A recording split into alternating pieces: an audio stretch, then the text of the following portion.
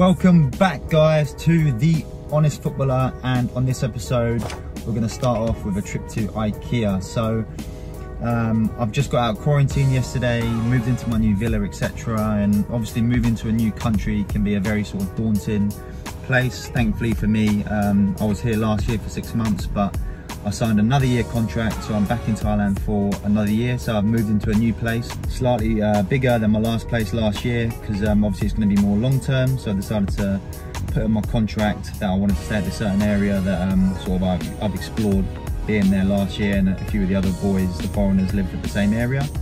So today is going to be IKEA day, which is actually for me quite fun. I know a lot of you know people that have girlfriends, etc., probably hate it when their wives drag them to IKEA.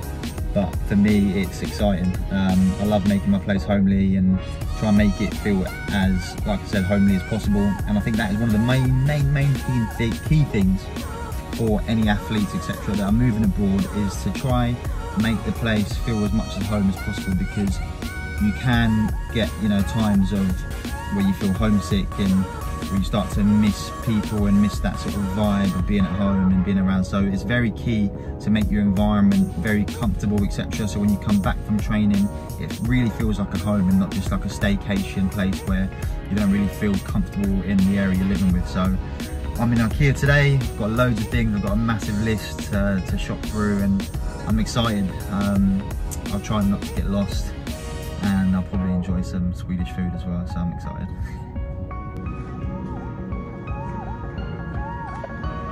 Every time I come to IKEA, saya mesti beli banyak lebih. I always end up buying far too much. But that's what I love IKEA. Me being alone, um, I'm so used to, you know, moving to a new country or moving to a new place. I'm always on the move. Um, that's part of being obviously an athlete and a professional footballer is you have to learn to adapt to, to new environments and I'm pretty accustomed now to, to know what I've got to buy. But the problem is, when you move again, you've got so much, you know, um, left over to either take with you or, you know, you leave it to someone else, etc.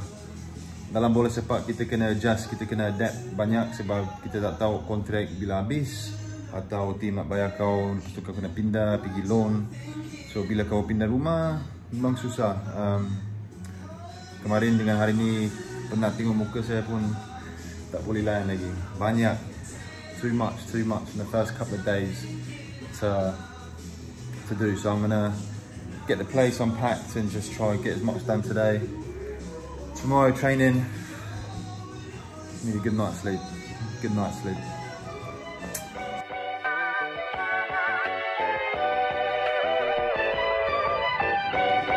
Hello bro.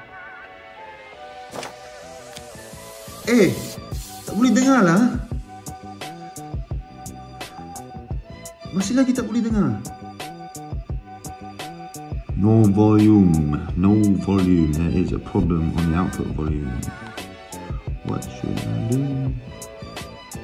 Yeah. Not connected to the Bluetooth. Hmm. Yeah, it's all fine. Lepas saya retire, saya balik England, saya tak main bola satu tahun lebih ya. Um, time tu business pun kena um, sebab COVID.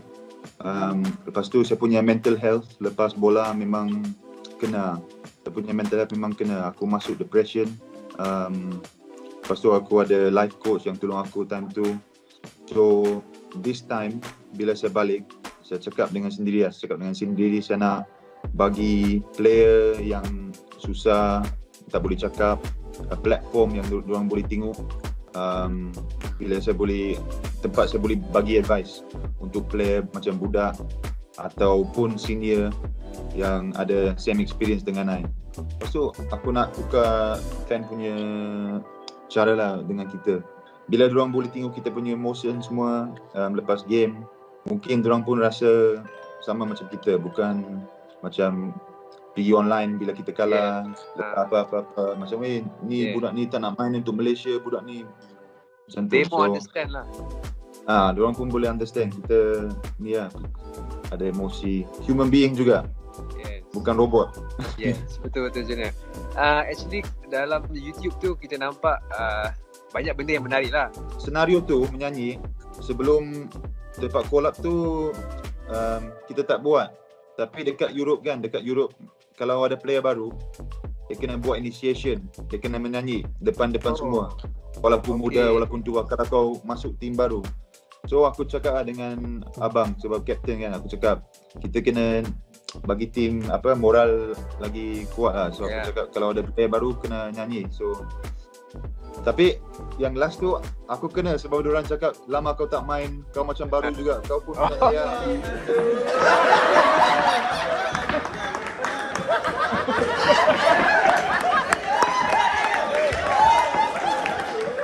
So, uh, what else might be in your your YouTube after this? Maybe uh, banyak lagi konten-konten yang you akan buat? Itu aku um, sekarang mau input more macam workout video uh, yang supplement makanan semua. Um, interview nanti saya balik UK ada interview dengan apa player-player semua kat sana professional player. Diorang boleh bagi tahu diorang punya journey juga. Macam mana diorang jadi professional. Um, macam 20 minit ke interview dengan professional player around the world Good morning. Today's morning breakfast before I do my workout consists of a protein shake. Plant-based protein from the Fresh Company. Highly, highly recommended guys. They're actually available in Malaysia. Dekat Malaysia boleh dapat ni. Um, dengan Thailand pun juga. So, highly recommend them guys for your protein. Very healthy, non-GMO. Um, I'll mix that with oat milk, some blueberries and banana today. And then I've got my French press with some coffee from Ikea. Swedish Svenska coffee, Svenska, up the Swedes. That is breakfast. And I'll get to my workout.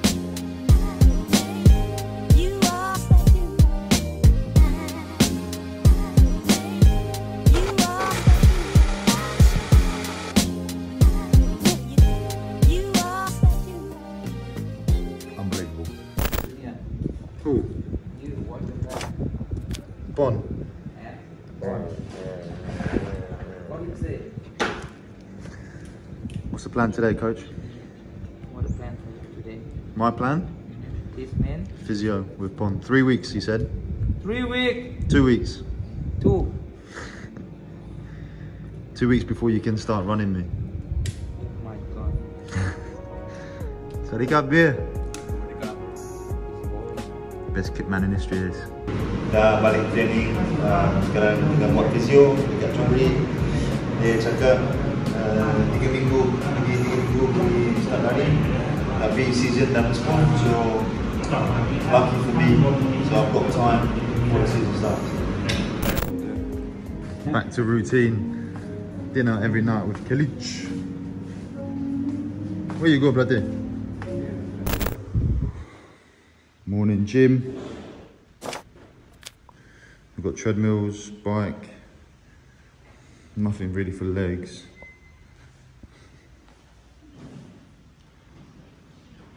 That's a um, leg press. This is just my gym though. And obviously you've got the main gym with the club.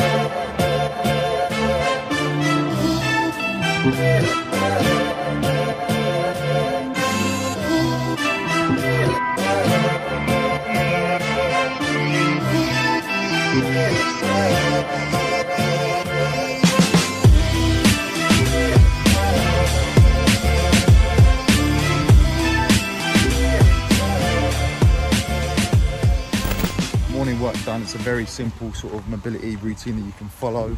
Um, just on the way to lunch with who else? Well, then Kellage. And I'm preparing for tonight's game. Come on, England.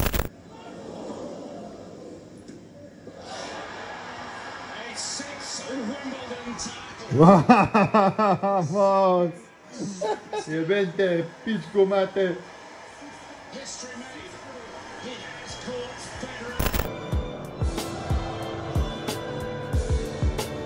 Bien glorious. Come on. Come on, England. Come on, the boys. Fucking get to it. Fuck you. Offside. Junior, offside.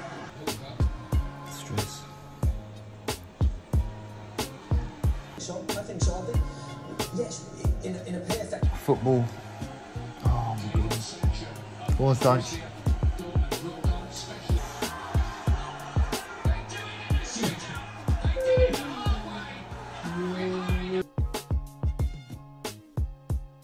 Last night was a tough, tough pill to swallow, losing on penalties, and uh, you know what has been a really successful tournament for the young lads has now been overshadowed by the racial abuse that the young players got this morning after, you know, last night's events. Um, but firstly, I want to say congratulations to England and a huge well done to all the boys and the team management um, that participated in the Euro 2020s. You did the nation proud, um, and we were this close, this close. So unlucky and well done.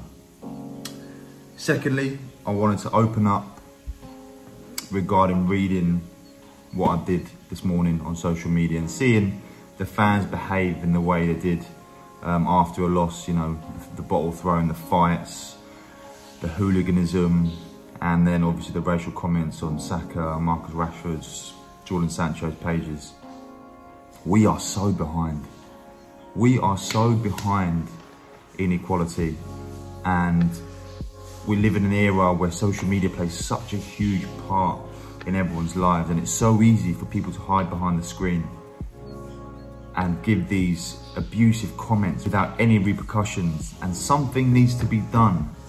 Boycotting social media is not going to do anything to these people who still have the access and the power to have a word, a voice on their own platform. Um, it's disgusting and you're an absolute disgrace. You're an absolute disgrace to the footballing community and to the nation. Um, and in a way, you know, you'd be the first guys to be singing It's Coming Home when England win. And you're the first comment when England lose. Um, you don't deserve it. You don't deserve for football to be coming home because you've embarrassed your country and the people that are doing it are embarrassing the people that represent the country. These are 11, 22 boys going out onto the pitch playing for their country and your country. Remember that. One country together. And you're an absolute embarrassment to the footballing society. It's a disgrace, um, and something needs to be done. We're so far behind. That's it. We're so far behind, and I speak about it a lot. You know, as a footballer, it's so hard to to speak about it. Um, you know, because you know, last night I was watching it as a neutral, sometimes as a fan, and you know, you get frustrated watching the game. But these comments you're reading is, and that happens in other countries too. It happens in Malaysia. Oh. We need to get together, protect the boys, protect the England squad, um, protect other players that are going through it as well, not just in England, but we need to get together and something something really, really needs to be done. So um, yeah, I'm out, I've got training today.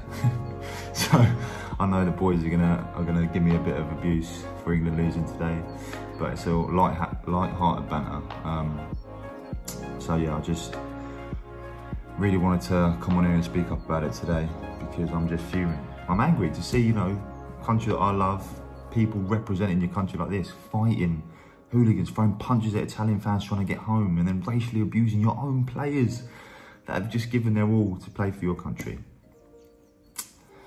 Disgrace. Sorry about the hair, it's very bad. Um, just a quick tip on recovery regarding the Achilles tendon, etc., which I obviously suffered during my Malaysia call up.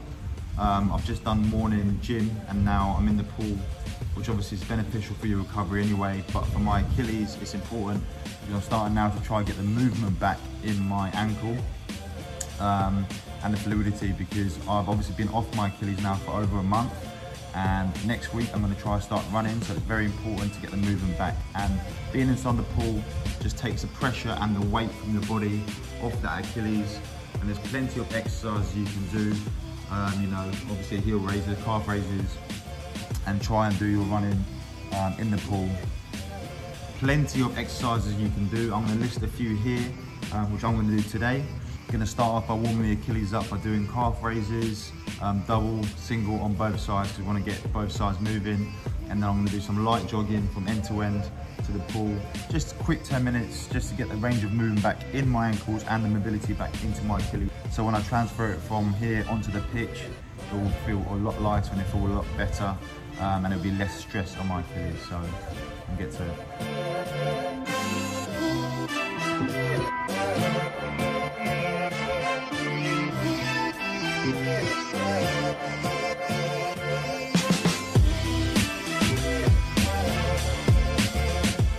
Quick tip, when you are running and you're doing any sort of running work to get the movement back into your ankles, into the Achilles, in the pool, make sure you're getting the whole range of movement in. Um, so let's say this is my foot, probably really a bad example, but best I can give is from heel to toe and up. Make sure you're not just on your toes, and you're getting that whole range of movement in. Because once you transfer it onto the pitch, you're getting that muscle memory back into your legs, into your movement, into your body. So it makes it a lot easier when you get back to training.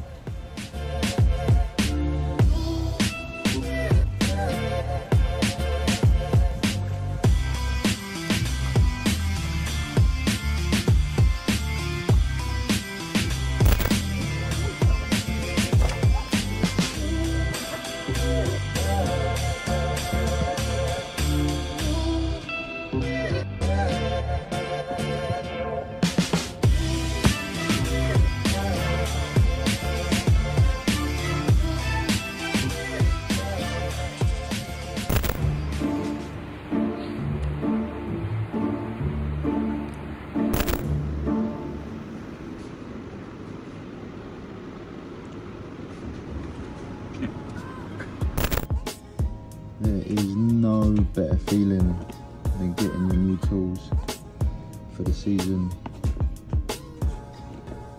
Unbelievable work. Sourced from Boothead, Malaysia. Buzzing. Get a couple of goals in these, lad. Out. Out. Directly. No, listen, listen you. You lose the ball. One time I don't see that you make reaction. I say, yeah, this is last time. Second time, after five minutes out. my friend. Back in the manor. Back in the manor. Come on. There he is. There's the spot. 15.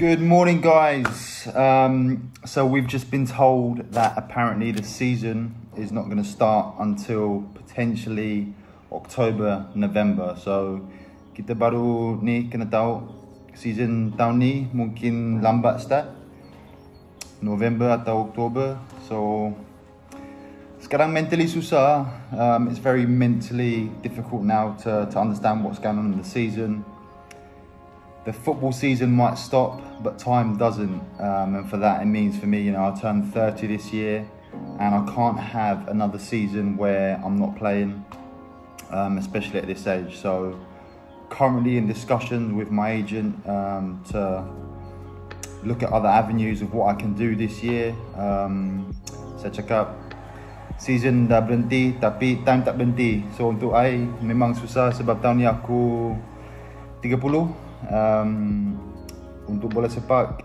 aku saya tak boleh ni lah berhenti. Saya kena ada season yang saya main. So sekarang saya tengah discussion dengan agent semua um, untuk apa saya boleh buat tahun ni.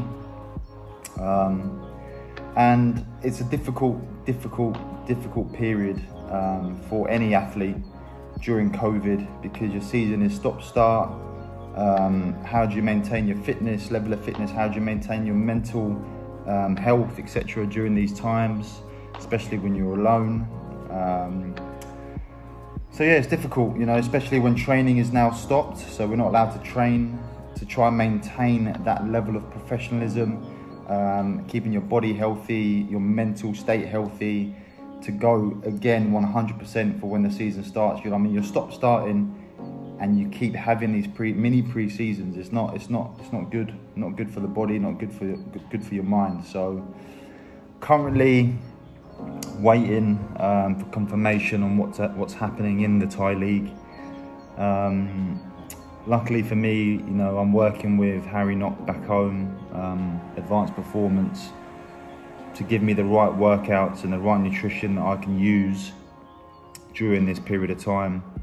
Like I said, to maintain, um, you know, sustain my body in the, in the best possible way.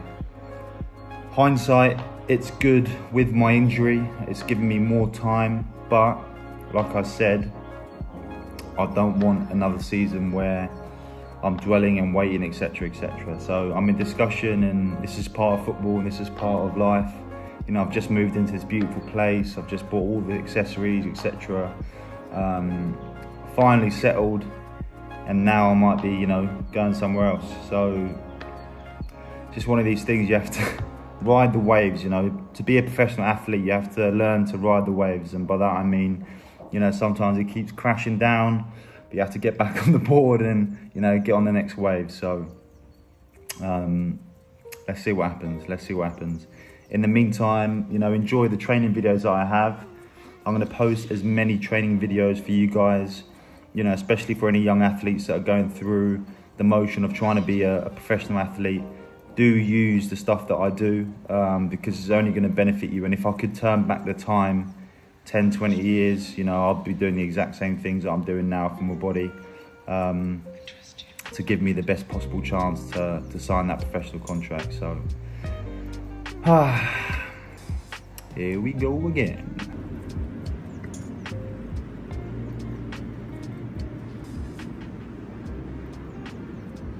Level 1, 1. hey, bleep test, huh? Yeah. Level 1, 2. Not a chance, Gaffer. Not me today. Tom, next year, huh? Me next year. No. So, yeah, I'm saucy. Caliente, more caliente, caliente, caliente. Galicia, how's your pre-season? Very good, my friend. I am so strong, so so, so powerful, my friend. Why is pre-season important for a footballer? It's very important, my friend, to avoid injury, to prepare good, so you can be ready for season. Vamos, carajo. Level 2, 6. Stop level 12, 1. Level 12, 2. Level 12, 3. Level 12, 9. So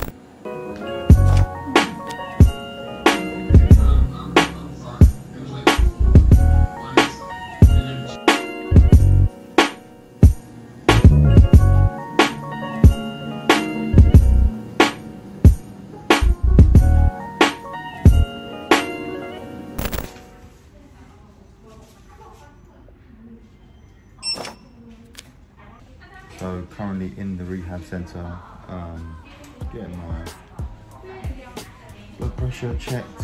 Um, I've got two weeks of intensive rehab in here for my Achilles just to make sure that there's no further problems. So I'm doing laser therapy, which specifically um, goes into the part where there was a small tear, um, alongside some Chinese uh, herbal massage therapy and compression, hot compression on my Achilles. Which is good. So I've got two weeks of this plus my strength program and training, um, and I've got a month, just over a month before the season starts, which is, great, great news. So.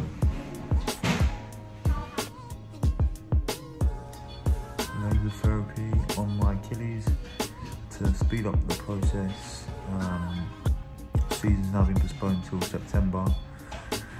So here I am doing laser on my Achilles. Feels a lot better, but still feel some pain when I am sprinting and really pushing it. So the laser will help get into the areas that ultrasound etc. cannot get to.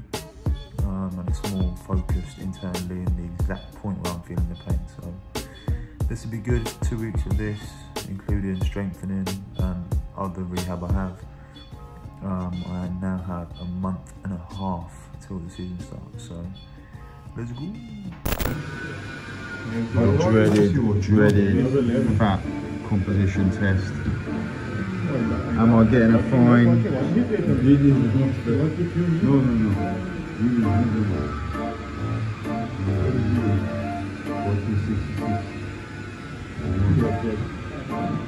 Jump up. I'm fine. Oh, I'm top, my friend. Look to me, I go down. I go down, my friend. I go down. Pre-season antics here. Pre-season, so many fines. So many fines. Season is just around the corner and this morning we are at our medical. When you are in a league and you play professionally, you have to do a medical test, um, you know, especially with things that happen to Christian Eriksen, etc.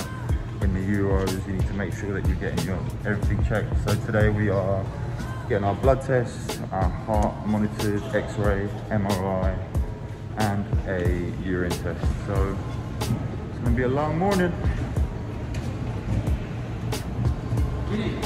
That's uh, that is not one of the players. It's the physio.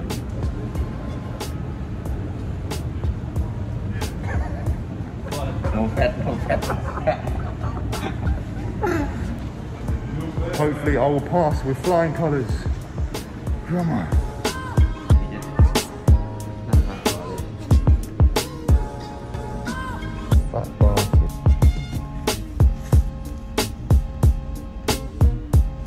For a man that has many tattoos, I hate needles.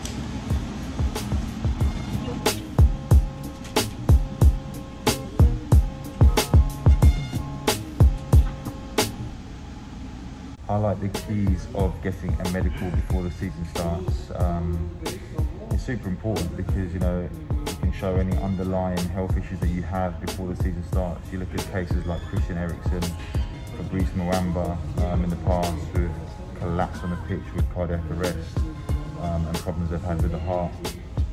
So before going into the season, it's very, very important to highlight anything that can possibly, you know, affect you um, on the loading that you have in the season. So if you are signing at a new club, make sure you are getting your medical before the season starts and before you get underway with the team. Um, so yeah, just got my X-ray left to do. Should be alright. Fingers crossed that I'm all healthy. I think I am. I think I am. King. He does it for every goal scored, ATC like assist for sure, everything everything normal apart from my heart, which is apparently enlarged, which means it's too big, and my heart rate is too slow. And Kelic has just told me that it's normal for a football player to have this problem, but after retirement, could be a problem. Yeah, that is true. Huh? But you see, you can be happy. so you can share love, my. You can share love. Got the chef is about to make some carbonara for the team. Everyone's getting a fresh trim. Best barber in Chonburi. Here's a tester out of 10.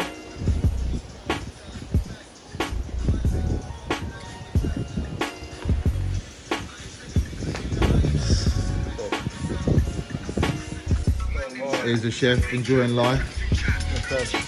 What? Uh, how'd you cook the carbonara, bro? I used uh, spaghetti and mushrooms and uh, lots of love. Love. Don't get my uh, my thin my thin hair on top.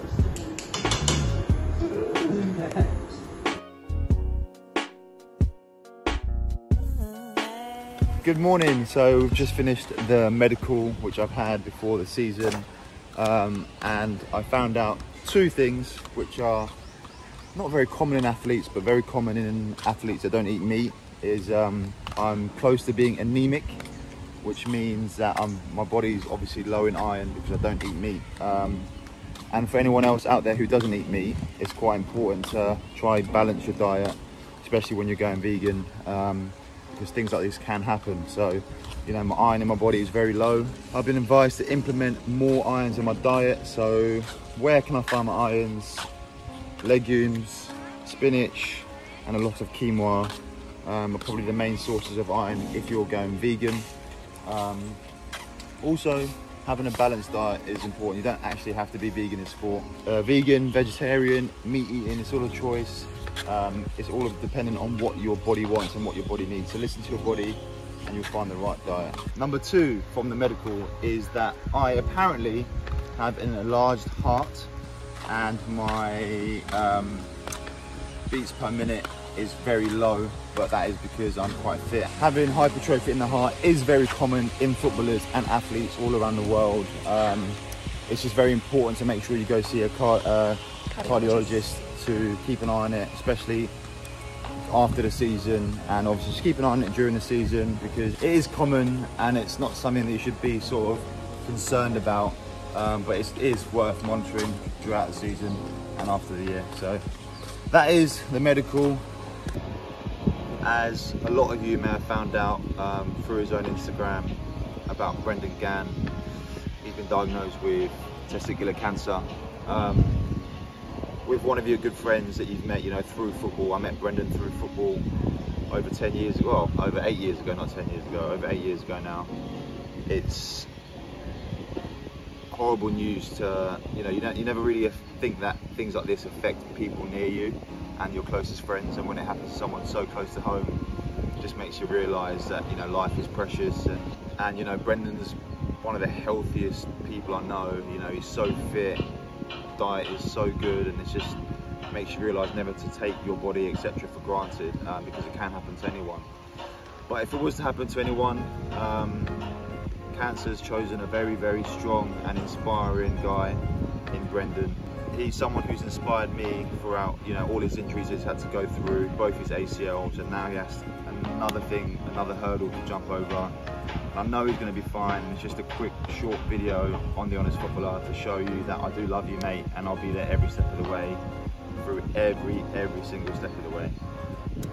Also, a huge reminder for all the guys out there that, you know, you should check your, yeah, check your junk um, every day for you know little bumps or anything like that and do go to a doctor to get checked because you never know. So stay safe. Gani I love you mate and it's going to be a great opportunity for you and us to share awareness for testicular cancer around the world. That is the end of the honest footballer this episode 16 15 16 thank you for following thank you for sharing thank you for following the journey please please please like share subscribe, and I'll see you in the next episode.